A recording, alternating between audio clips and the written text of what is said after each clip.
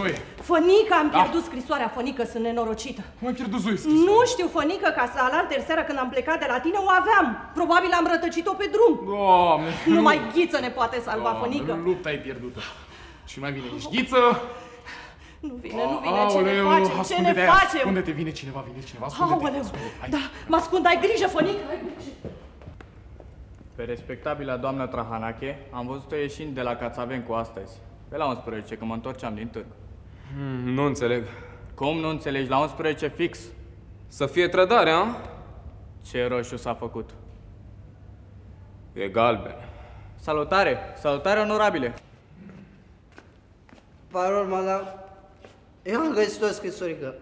O scrisorică? O scrisorică la mă. Mizerabile, unde este Cum am scrisoarea? împinge, domnule, la Lasă-l, mețes, lasă-l, Fănică, să ne spună. Așa e, domnule, lasă-mă să zic. Deci eram în trenul 7453 și mă pregăteam să cobor la București. Când am trecut pe acolo, opa, vagonul alăturat, dau de un geamantan și cu un laptop în el.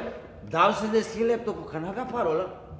Și m-a pus să citesc scrisoarea. Când încolo, pe la spate, conul vine și îmi fură scrisoarea. Și ți l-a luat? Aia, așa, nea, nea, de, de, din vorbă de cu vorbă de cu țică de cu vin, am mai dat și pe o bere și pe altă vin, că a făcut cinste domnul și ne-a luat cu vorba și s-a dus tot timpul și nu mai știu ce s-a întâmplat mai departe.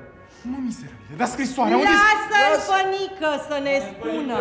Coane Fănică! Coane Joițico! Am găsit scrisoarea! Aveți grijă, nu vă uitați bunurile în tren. Sunați la 112 de câte ori găsiți un bagaj nesupravegheat.